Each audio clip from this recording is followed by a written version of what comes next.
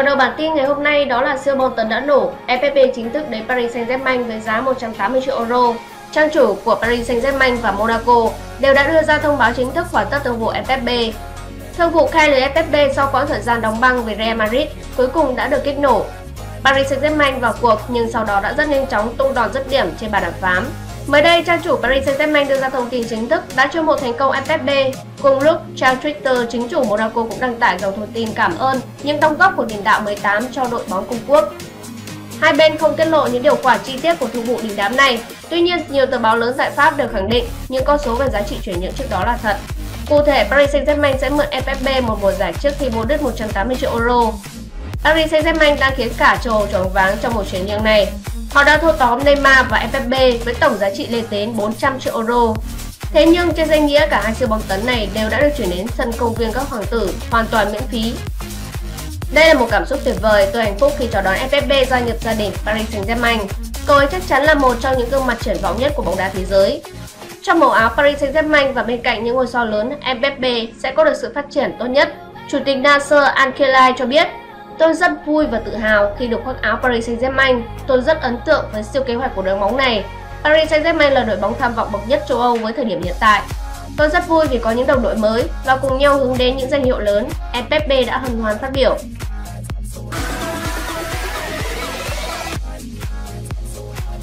Bản tin thứ hai đó là xoay quanh về chuyển nhượng của Chelsea. Chính thức Danny Drinkwater gia nhập Chelsea. Trang chủ Chelsea và Leicester City đều đã công bố hoàn tất vụ chuyển nhượng Danny Drinkwater. Tiền vệ 27 tuổi đã trở thành bản hợp đồng thứ 6 của Chelsea trong kỳ chuyển nhượng hè này. Trước đó, nhà đương kim vô địch Hoàng Anh đã chiêu mộ thành công William Cabero, Anthony Rudier, Tremo Bakayoko và Aru Marata và tối nay David Yappa Costa. Mức phí cho Drinkwater rơi vào khoảng 35 triệu bảng. Đây là kỷ lục bán cầu thủ của Leicester City. Trong ngày ký hợp đồng 5 năm với đội bóng mới, Drinkwater chia sẻ Tôi rất vui mừng khi trở thành một cầu thủ của Chelsea và đang rất háo hức cho ngày ra mắt.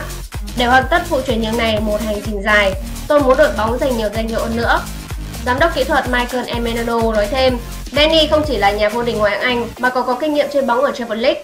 Điều này sẽ giúp Chelsea rất nhiều trong tương lai. Sự xuất hiện của Drinkwater giúp tuyến giữa được tăng cường mạnh mẽ. Drinkwater là sản phẩm của lò đào tạo Manchester United.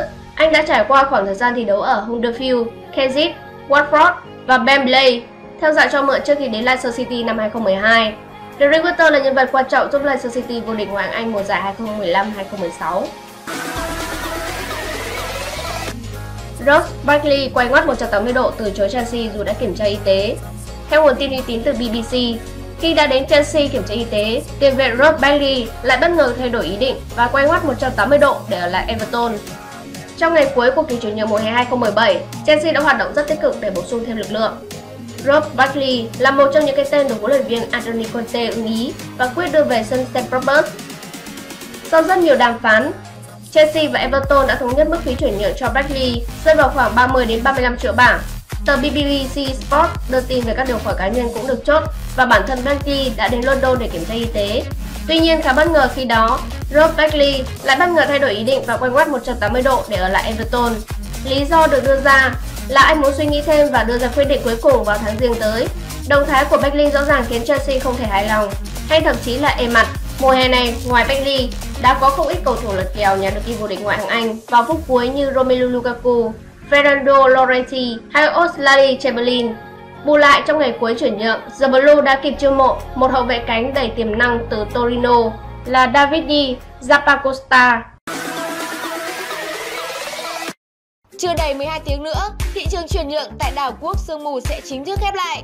Cho đến lúc này, người hâm mộ đang chờ đợi một cú sốc từ Manchester United và một số đội bóng khác như Real Madrid, Barca hay là Man City. Theo đó, Manchester United đồng ý cho tiền vệ 21 tuổi có tên là Marco Willock sang FC Europe của Hà Lan theo dạng cho mượn.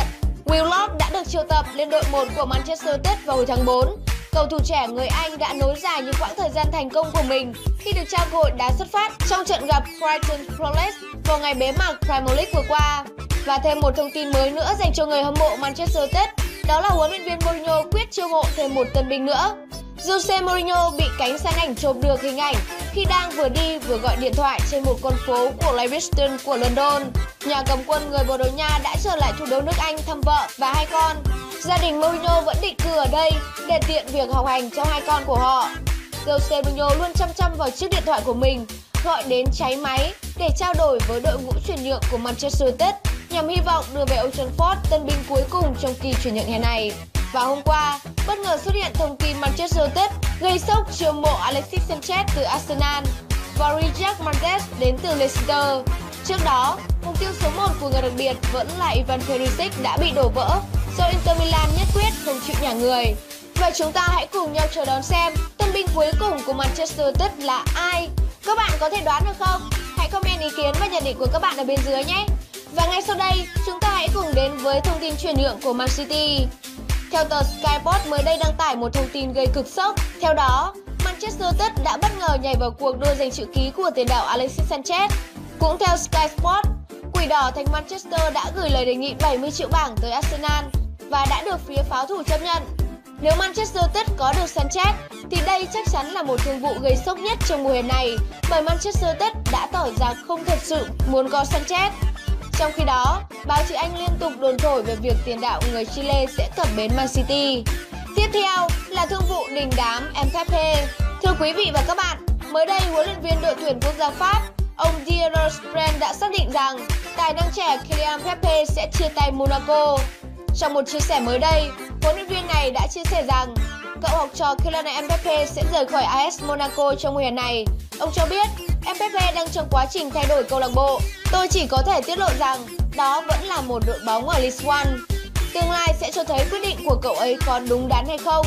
Huấn luyện viên này tiết lộ thêm, Kylian Mbappe sẽ kiểm tra y tế ngay trên đội tuyển Pháp và khi kết thúc vòng loại World Cup năm 2018, anh sẽ gia nhập đội bóng mới. Và với thông tin này, tương lai của Mbappe coi như đã xong. Điểm đến của Mbappe không được huấn luyện viên này tiết lộ rõ ràng, nhưng theo những thông tin có được thì đó chắc chắn là Paris Saint-Germain. Nguồn tin độc quyền từ tờ Electricity đã khẳng định rằng Paris Saint-Germain đã đạt thỏa thuận với AS Monaco về chuyển nhượng của Mbappe với giá 180 triệu euro. Để lách luật công bằng tài chính, trước tiên Paris Saint-Germain sẽ ký mượn Mbappe đến hết mùa giải năm nay và sau đó họ mua đất với giá 180 triệu euro. Thương vụ trên nếu thành công, Mbappe sẽ trở thành hợp đồng đắt giá thứ hai thế giới sau Neymar. Xin chào các bạn khán giả của Thể thao TV. Bản tin tối ngày hôm nay là những thông tin chuyển nhượng ngoại hạng Anh. Đặc biệt được chú ý nhiều nhất là chuyển nhượng Manchester United. Mời các bạn đón xem. Nếu thấy hay nhớ like, comment và share nhé. Đừng quên đăng ký kênh để nhận được những thông tin mới nhất trong ngày bạn nhé. Hàng loạt ông lớn Premier League đang sốt sáng hoàn tất thương vụ cuối cùng trước khi thị trường chuyển nhượng mùa hè đóng cửa. Và ngay sau đây sẽ là bản tin đầu tiên về chuyển nhượng MU. Thị trường chuyển nhượng mùa hè bước vào ngày cuối và cả châu Âu đang đón chờ bom tấn mà Manchester United sẽ thực hiện, đáp ứng yêu cầu của huấn luyện viên Jose Mourinho. Mourinho và ám ảnh hợp đồng thứ tư. Jose Mourinho đã công khai chỉ trích sự chậm chạp của ba lãnh đạo Manchester United và phó chủ tịch Edward Ward. Cách đây ít giờ về mục tiêu một cầu thủ đá cánh, tôi đã có ba cầu thủ mới và mọi người đều biết tôi muốn bản hợp đồng thứ tư. Điều đó luôn xuất hiện trong tâm trí tôi. Mourinho đã công khai sau khi Manchester United thừa nhận thất bại trong thời vụ Ivan Perisic trong kế hoạch được vạch ra từ mùa giải 2016-2017 kết thúc, Mourinho đã chấm Pirisic là giải pháp quan trọng để cải thiện sức mạnh cho hàng công. Quá nhiều cuộc đàm phán và Mourinho luôn bế tắc. Đã có thời điểm Pirisic nổi loạn để được yêu cầu chuyển nhượng sang MU. Nhưng Evoquat vẫn thất bại khi ngồi vào bàn đàm phán với Inter. Khi bế tắc với Pirisic, Mourinho đề xuất lên ba lãnh đạo Manchester United mục tiêu Federico Bernardeschi, người được mệnh danh là Roberto Baggio mới. Một lần nữa, Manchester United chậm chạp và ngôi sao trẻ người Italia chuyển sang Juventus. Ngoài ra, những mục tiêu Kyle Walker, Danilo cũng rơi vào bế tắc. Kyle Walker thì chuyển sang đối thủ Man City, còn Danilo đã xin lỗi Tottenham và muốn ở lại đội bóng thủ London. Mới đây, hôm 29 tháng 8, nhà cầm quân người Bồ Đào Nha tiếp tục gây chiến với ban lãnh đạo đội bóng. Manchester United khởi đầu mùa giải Premier League với 3 bàn thắng tuyệt đối, chưa nhận thua bàn nào và trở thành ứng viên hàng đầu cho danh hiệu vô địch. Nhưng Mourinho vẫn cần thêm ngôi sao bởi vì cuộc đua đường dài luôn tồn tại nhiều bất ngờ, chưa kể nguy cơ chấn thương luôn tiềm ẩn. Manchester United sẽ náo loạn ngày cuối. Thị trường chuyển nhượng mùa hè 2017 sẽ đóng cửa vào lúc 0 giờ ngày 1 tháng 9 theo giờ châu Âu. Và câu hỏi đặt ra là Manchester United sẽ làm gì trong những tiếng đồng hồ cuối cùng của phiên chợ mùa hè. Mourinho đang khao khát một bản hợp đồng mới. Perisic chỉ là một hy vọng mong manh của người đặc biệt. Gareth Bale được quan tâm nhưng khả năng thương vụ này sẽ diễn ra là không cao bởi vì Florentino Perez chưa sẵn sàng bán cầu thủ người xứ Wales sau khi đã đẩy Morata và James Rodriguez ra đi. Giống như trường hợp của Griezmann, Manchester United phải chờ thêm một năm nữa nếu muốn sở hữu Bale. Khi một loạt mục tiêu quan trọng bế tắc, Manchester United đang chuyển hướng sang Riyad Mahrez, cầu thủ đã được yêu cầu rời Leicester City từ lâu. Khả năng đá cánh toàn diện của Mahrez là một yếu tố quan trọng giúp anh nhận được sự quan tâm từ Mourinho. Mahrez cũng có kinh nghiệm chơi bóng tại Premier League. Điều gì sẽ diễn ra nếu thương vụ Mahrez cũng bế tắc? Những tranh cãi đang diễn ra giữa Mourinho và quan chức Manchester United về việc phải thực hiện hợp đồng thứ tư, thế nên sẽ có một thương vụ bom tấn thực hiện không loại trừ khả năng sau tất cả những diễn biến phức tạp. Thomas Nimmer sẽ là cầu thủ tiếp theo về với Mourinho. Manchester United đã chiêu mộ thành công 3 tân binh chất lượng là Nemanja Matic, Romelu Lukaku và Victor Lindelof. Tuy nhiên, họ vẫn đang dục địch mang về sân Old Trafford tân binh thứ tư. Khi mà thương vụ Ivan Perisic đã rơi vào ngõ cụt, Alexis Sanchez sẽ là một lựa chọn khá tốt. Sanchez muốn gia nhập Man City, nhưng vì Arsenal nhất quyết đòi gắn Terry và thương vụ này mà Man City không chấp thuận, nên cơ hội đã mở ra cho Manchester United. Chẳng ai biết trước được điều gì và không chừng Quỷ đỏ thành Manchester United sẽ nổ bóng tấn vào phút chót, bởi huấn luyện viên Jose Mourinho luôn ưu tiên bổ sung một cầu thủ chạy cánh đẳng cấp. Trong khi đó, Liverpool gần như đã có được chữ ký của Alex Oxlade-Chamberlain Hàng loạt trang uy tín như Sky Sports, đều đăng đàn xác nhận Chamberlain sẽ cập bến April với bản hợp đồng 6 năm, mức phí chuyển nhượng khoảng 35 triệu bảng. Chưa dừng lại ở đây, Liverpool còn đang hỏi mua Thomas Lemar với giá 75 triệu bảng và Ginger Van Dijk với giá 70 triệu bảng. Nếu hai thương vụ này trở thành nhận được, Liverpool sẽ là đối thủ đáng gờm mà các ông chủ lớn ở Premier League phải đối chừng.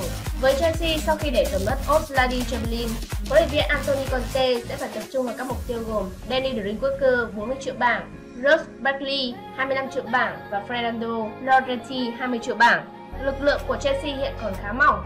Chính vì thế, mức độ thành công của các thương vụ này đều không hề nhỏ. Liên quan tới Man City, đội bóng này đang làm mọi cách để thuyết phục Arsenal nhả Alexis Sanchez. Dù vậy với yêu cầu quá cao với đối tác, muốn đổi Sterling, không loại trừ Man City sẽ từ bỏ việc tiếp cận Sanchez. Ngoài ra, Man City cũng đã gửi lời đề nghị cho West Brom về trường hợp của Johnny Evans bổ sung thêm một trung vệ là điều cần thiết với Man City. Về phía Arsenal, huấn luyện viên Arsene Wenger đang bất lực với những kế hoạch chuyển nhượng khi mà ông phải lo giải quyết chuyện đi ở của các trụ cột. Không ngoại trừ sau Chamberlain, pháo thủ sẽ tiếp tục mất Scotland Mustafiu trong kỳ chuyển nhượng hè năm nay. Cuối cùng Tottenham được cho là đã tiến sát với việc có được sự phục vụ của Sergio Aurier. Cầu thủ người bờ biển Nga sẽ tiêu tốn của Tottenham 24 triệu bảng. Trang chủ của gà trống sẽ sớm công bố thương vụ này. Theo các bạn, thì Manchester United sẽ nổ bom tấn thứ tư là ai? Hãy bình luận ở bên dưới video này nhé. Và đừng quên đăng ký kênh để nhận được những thông tin mới nhất trong ngày bạn nhé.